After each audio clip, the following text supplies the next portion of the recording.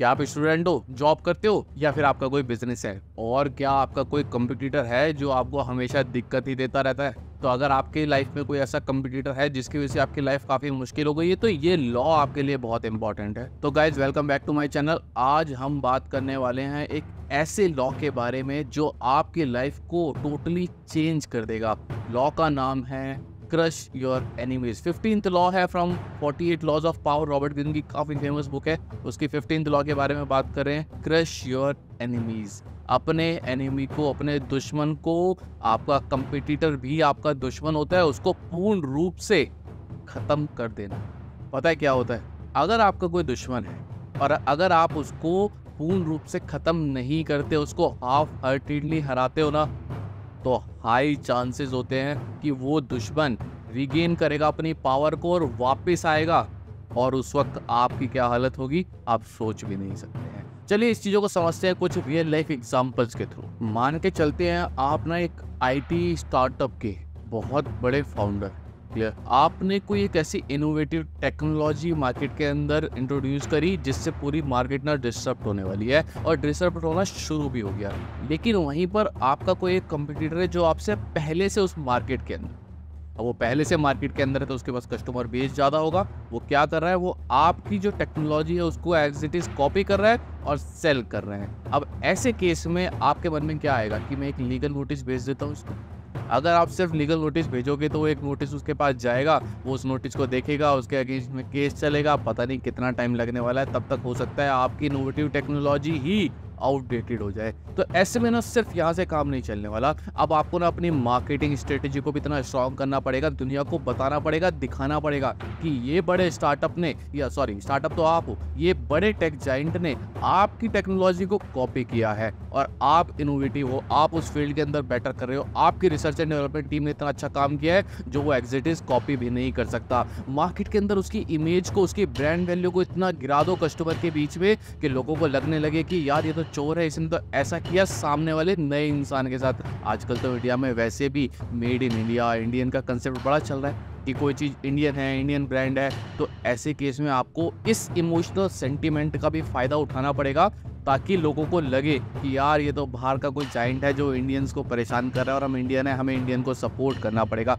आप थोड़ा सा इमोशनल कनेक्ट लोगों से बना के अपनी मार्केटिंग अपनी पीआर एजेंसी को इतना स्ट्रांग बनाओ कि लोगों के सामने जो जाइंट था ना, उसकी इमेज खराब हो जाए और आप वहाँ पर जीत जाओ। अगर सिर्फ़ लीगल नोटिस के सहारे आप रहे तो आप नहीं जीत पाओगे, आपको वो ख़त्म कर देगा। तो इस लॉ के अंदर हम पढ़ ही रहे हैं कि कैसे मुझे अपने एनिमी को हराना है। उसको सिर्फ़ छोटा मोटा हराना नहीं है, उसको बिल्कुल आउट कर देना है, उसकी इज़्ज़त उतार देनी है, उसको बिल्कुल ज़मीन पे गिरा देना है मेरे। अब बात करके चलते हैं एक काफ़ी इंपॉर्टेंट रियल लाइफ स्टोरी के बारे में। काफ़ी पुराने ज़माने की स्टोरी है। आपने जूलियस सीजर का नाम सुना होगा। नहीं सुना तो स्टोरी सुन लो सर्च करना गूगल पे जाके और बताना कि कैसी लगी आपको उसकी रियल लाइफ में स्टोरी थोड़ा गूगल पे जाके और रिसर्च करना उसके बारे में। जूलियस सीजर वो क्या था? रोम का एक बंदा था, जिसका एक पॉलिटिकल राइवल था पॉम्पे अब उसने क्या किया? जूलियस सीजर ने ना उसको हराया पॉम्पे को ना कि सिर्फ़ हराया, उसके जो सपोर्टर्स थे ना पॉम्पे के, उनको भी अपनी साइड कर लिया, उसकी आर्मी को भी अपनी साइड कर लिया। अब जब जूलियस सीजर ने ऐसा किया तो जो पॉम्पे था ना, वो बिल्कुल असहाय हो गया। तो सिर्फ़ हराना नहीं है सामने वाले को, अपने एनिमी को इस तरीके से क्रश कर देना है कि वो दोबारा उठ भी ना सके, आपके अगेंस्ट स्टीव जॉब्स का नाम तो सबने सुना होगा। आई होप आप जितने भी लोग इस वीडियो को देख रहे हैं सबने स्टीव जॉब्स का नाम सुना है। अगर आपने स्टीव जॉब्स का नाम सुना है तो कमेंट में येस स्टीव जॉब्स, मैं बहुत इंस्पायर्ड हूँ स्टीव जॉब्स से। वो बहुत ही इंस्पायरिंग पर्सनैलिटी थे। उनको जब एप्पल से निकाला गया ना तो वो डिमोटिवेट नहीं हुए जैसे हमारे साथ क्या हमारी लाइफ में कुछ भी खराब होता है, हम डिमोटिवेट हो जाते हैं, हम परेशान हो जाते हैं, हम बहुत स्ट्रेस के अंदर चले जाते हैं। मैंने उनकी बायोग्राफी देखी है, मैंने उनकी स्टोरी देखी है, वो उस लेवल पर डिप्रेशन में नहीं गए। उन्होंने इसको एज एन अपॉर्चुनिटी लिया। जब उनको एप्पल से निकाला तो उन्होंने नेक्स्ट और पिक्सर जैसी कंपनी के अंदर जाके काम किया और उन्होंने उनकी जो टेक था ना, उसको बिल्ड करने पर वर्क किया। उन्होंने अपनी स्किल को बिल्ड करने पर वर्क किया और मार्केट के अंदर जो कंपटीशन था, उनको एनालाइज करना शुरू किया। जब उन्होंने अपने मार्केट में कंपटीशन को एनालाइज करना शुरू किया ना, देखो, अगर आप अपने कंपटीशन को एनालाइज ही नहीं करोगे तो उसको भी हरा ही नहीं पाओगे उनको सबसे पहली ज़रूरी चीज़ है कि उनको एनालाइज करो। तो जब उन्होंने अपनी स्किल पे वर्क किया ना तो उनको एप्पल वापस लाया गया। और उसके बाद आपको स्टोरी पता है। एप्पल पे लाने के बाद वापस ना उनको सिर्फ़ सीईओ ही नहीं बनाया। उनकी एक लेगेसी क्रिएट हो गई। आज भी सब लोग स्टीव जॉब्स का नाम सुनते ही एप्पल को रिलेट करते हैं और एप्पल का नाम सुनते ही स्टीव जॉब्स को रिलेट करते हैं। स्टीव जॉब्स ने पूरे मार्केट के अंदर अपने कंपटीशन को इस तरीके से खत्म किया ना, अपनी नई नई टेक्नोलॉजी ला के वो मार्केट के अंदर किसी को भी टिकने ही नहीं देते हैं। आज भी आप देखो, एक स्टेटस सिंबल बना दिया है आईफोन को उन्होंने। आज की डेट में अगर किसी के पास सैमसंग का फ़ोन है, किसी के पास आईफोन है सैमसंग का उसका डेढ़ लाख का फ़ोन हो और उसका नॉर्मल है ना, एक सवा लाख का भी फ़ोन होगा ना तो भी आईफोन की इज़्ज़त ज़्यादा है। सैमसंग के अंदर फीचर बेशक थोड़े ज़्यादा है बट इज़्ज़त आईफोन की ज़्यादा है। तो अपने कंपटीशन को ना इस तरीके से समझो कि वो कभी भी आपके बराबरी कर ही ना पाए, आपके बराबर कभी उठ ही ना पाए। मार्केट के अंदर एक एच का नाम काफ़ी चलता था ऑनर का नाम काफ़ी चलता था मार्केट में ब्लैकबेरी का नाम काफ़ी चलता था बिज़नेस क्लास में हर बिज़नेस के पास ब्लैकबेरी का फ़ोन होता था, लेकिन एप्पल में स्टीव जॉब्स ने इस तरीके से स्ट्रेटेजी से सबको ख़त्म किया ना, आज ना कोई ऑनर यूज़ करता है ना कोई एचटीसी और ना ही कोई ब्लैकबेरी अगर आपका कोई नोन में ब्लैकबेरी यूज़ करता है तो मेरे को कमेंट में ज़रूर बताना। कि आज के डेट में भी क्या ब्लैकबेरी यूज़ हो रहा है? मेरे हिसाब से तो मार्केट के अंदर से काफ़ी हद तक ख़त्म हो चुका है। बहुत रेयर मैं अपने पिछले पाँच साल के एक्सपीरियंस में बताऊँ तो मैंने एक बंदे को भी ब्लैकबेरी यूज़ करते हुए नहीं देखा। आज की डेट में कोई भी आपको सक्सेसफुल इंसान बिजनेसमैन दिखेगा तो उसके पास दिखेगा क्या? आईफोन ये होती है स्ट्रेटेजी अपने कंपटीशन को बिल्कुल ख़त्म करने की, वो आपके बराबरी कर ही ना सके, आपके बराबर उठ ही ना सके। वन प्लस ने बड़ी कोशिश करी थी कि मैं एप्पल जैसा हूँ, मैं एप्पल जैसा हूँ बट कहाँ है वो मार्केट में? नहीं जा रहा है ना उस लेवल पे। एप्पल की बराबरी कर ही नहीं पा रहा है। अगर आपका कोई दोस्त आईफोन नहीं, अगर आपका कोई दोस्त वन प्लस यूज़ करता है तो आप उससे फीचर के बारे में पूछोगे, वो पता क्या बोलेगा? ये एप्पल जैसा है।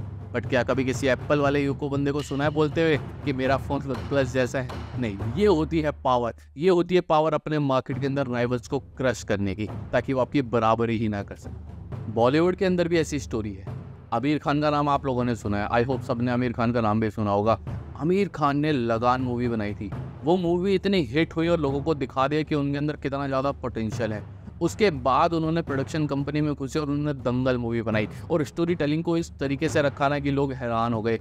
आज भी लोग आमिर खान को मिस्टर परफेक्शनिस्ट के नाम से जानते हैं। क्योंकि उन्होंने अपना और अपनी इमेज ही ऐसी क्रिएट कर दी ना कि मैं जो भी करूँगा परफेक्ट करूँगा। अगर मैं थोड़ी सी मूवीज़ को हटा दूँ, जो फ्लॉप है, वो हर किसी के करियर में थोड़ा सा तो फ्लॉप आएगा ही आएगा। ऐसा कोई नहीं होता कि जो हमेशा ही जीतता है। कभी कभी तो हार रहा है, लेकिन उस हार से आप क्या सीख रहे हो, ये बहुत इंपॉर्टेंट होता है। आमिर खान ने ज़िंदगी में सेटबैक्स लिए थोड़े से, लेकिन इतने भी नहीं लिए जितने बाकी स्टार्स ने लिए। अगर आप कंपेरिजन करोगे, आज गूगल पे जाओ सर्च करो, आमिर खान की कितनी मूवीज़ फ्लॉप है और बाकी स्टार्स की। जो उस लेवल पर है, उनके बराबर है, कितनी मूवी फ्लॉप है, आपको अंदाज़ा लग जाएगा। तो आपकी लाइफ में अगर सेटबैक आते हैं तो आप उनसे लर्निंग लो और अपने आप को आगे बढ़ाओ। कैसे आप आगे निकलते हो? मिस्टर परफेक्शन कोई ऐसे ही नहीं बन जाता। आपको, अपने आप को साबित करना होता है और अपने कंपिटिटर को दिखाना होता है कि भाई तुम मेरे बराबर नहीं आ सकते। उसको इस लेवल पे जाके हराओ, उस देखो, दो तरीके होते हैं। एक होता है, अपने एनिमी को मारो। है ना? जो पुराने ज़माने में तो चलो एक बार मान भी सकते होता था राजा महाराजा के टाइम पे। आज के ज़माने पे आप अगर आप किसी के साथ ऐसा कुछ करोगे तो आपके ऊपर लीगल केसेस हो जाएँगे राइट तो आज की डेट में अगर मैं आज के एग्ज़ाम्पल को लेकर चलूँ कि आपको इनो को कैसे अप्लाई करना है, कैसे एनिमी को क्रश करना है तो आपको, अपने आप को उस लेवल पर बना लेना है कि आपका एनिमी आपके बराबर पहुँच ही ना सके। उसको इतना असहाय बना दो कि वो आपके लेवल पर आ ही ना सके। सेम एप्पल ने किया सेम आमिर खान कर रहे हैं। वो अपना लेवल ही इतना ऊँचा कर लिया कि आपका कंप्यूटर वहाँ पर आ ही नहीं पा रहा है। और अगर आपको थोड़ा सा डार्क जाना है, मैं ये प्रेफर नहीं करता हूँ। लेकिन अगर आपको किसी से कुछ डार्क जाना है तो सामने वाले की ऐसी चीज़ों को निकाल के सामने रख दो कि वो खुद टूट जाए। कंपटीशन तो हर जगह होता है ना। अपने कंपिटिटर को कभी कभी हराना भी पड़ता है। हर रेस को जीतने का सिर्फ़ यही तरीका नहीं होता कि आप तेज़ भागो कभी कभी अपने कंपिटिटर को भी गिराना पड़ता है। नहीं गिराओगे तो एक दिन वो इतनी स्ट्रेंथ बना लेगा कि वो आपको ओवरकम कर जाएगा। लास्ट एग्ज़ाम्पल पे आता हूँ माइकल जॉर्डन माइकल जॉर्डन का नाम भी आप लोगों ने सुना होगा। माइकल जॉर्डन जॉर्डन के शूज़ आते हैं, कितने फ़ेमस हो गए हैं वो नाइकी की वजह से, या बोलो नाइकी उनकी वजह से फ़ेमस हो गई है। माइकल जॉर्डन की मैं स्टोरी पढ़ रहा था, एक जगह। मैंने पता क्या देखा? मैंने क्या पढ़ा? माइकल जॉर्डन जब जाते थे ना, कहाँ पे जाते थे? फ़ील्ड में? लड़ाई करने नहीं जाते थे वो? वो पीसीज ऑफ़ बास्केटबॉल खेलने जाते थे बट वो उनके लिए एक फ़ील्ड ही था, वो उनके लिए एक बैटल ग्राउंड था। वो जब वहाँ पर जाते थे तो सिर्फ़ जीतने के लिए नहीं था। वो अपने जो भी कंप्यूटर है ना, उनके मनोबल को तोड़ देते थे, उनकी तरफ़ इस तरीके से लुक्स देते थे, अपने स्किल को इस तरीके से प्रेजेंट करते थे कि सामने वाला जो कंप्यूटर होता ना, वो पहले ही डर जाता था कि यार ये तो माइकल जॉर्डन इनको हराना तो बहुत। ये मेंटेलिटी जब आप लोगों के सामने क्रिएट कर दोगे ना तो आप अपने आप ही विनिंग सिचुएशन के अंदर जाना शुरू कर दोगे। देखो यार आगे अभी थोड़ी देर पहले ही समझाया खुद का स्किल भी बढ़ाना है और अपने कंपिटिटर को मेंटली फिजिकली तो आप हार्म नहीं कर सकते। मेंटली हार्म ऐसा करो कि वो आपसे जीतने की उम्मीद भी ना लगा सके। यही इस लॉ के अंदर लिखा है, यही पूरी स्टोरी थी इस लॉ की। आई होप आपको ये लॉ बहुत अच्छा लगा होगा, आपको इसके अंदर काफ़ी कुछ सीखने को मिला होगा। अगर आप ये चीज़ें फॉलो नहीं करते, मत करो। मैं किसी को एडवाइस नहीं करता कि इनको फॉलो करो, लेकिन अगर कोई आपके साथ फॉलो कर रहा है तो आप उसको टाइमली एनालाइज करो और उसको उसका आंसर दो ताकि आप अपनी लाइफ के अंदर सुकून से जी सकें। अगर आपको मेरी वीडियो अच्छी लगी है तो इस चैनल को सब्सक्राइब कर लेना और मेरी वीडियोस को अपने उन दोस्तों के साथ भेज देना जिसको लाइफ पे ग्रोथ चाहिए, जिसको लाइफ में कुछ अचीव करना है। नॉन अचीवर्स के लिए मैं वीडियो नहीं बनाता। अगर आप एक नॉन अचीवर्स थे तो मेरे चैनल को अनसब्सक्राइब करो और जाओ यार, दोबारा मेरे चैनल पर आना भी मत क्योंकि अगर आपको ज़िंदगी में कुछ नहीं बढ़ना है, नहीं करना है तो मैं नहीं आपकी हेल्प करना चाहता। और आपको क्यों टाइम वेस्ट करो यार मेरी वीडियोस देख के? कुछ और देखो एंटरटेनमेंट देखो कॉमेडी देखो, गाने सुनो बट यहाँ पर अगर आप आए हो इस वीडियो के अंदर मेरे चैनल पे तो अपनी लाइफ का अगर पर्पज़ ग्रोथ है तो ही आना otherwise leave that's all for the day